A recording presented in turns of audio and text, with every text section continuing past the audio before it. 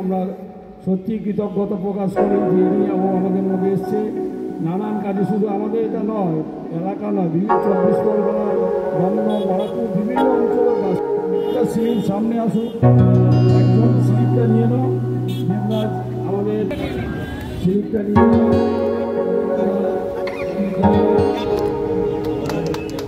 নাও